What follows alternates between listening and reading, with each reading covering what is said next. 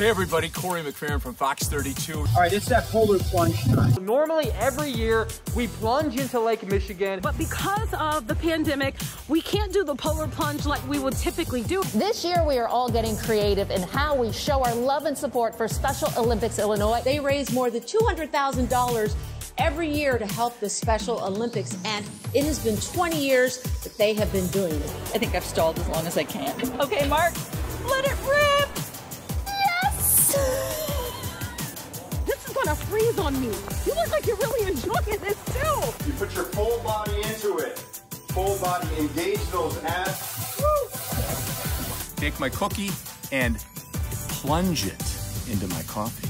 I gotta be, I'm from Texas, so this Yeah. is colder than I'm used to. I brought out my bathing suit and my chili dog. It's a vodka French plunge martini.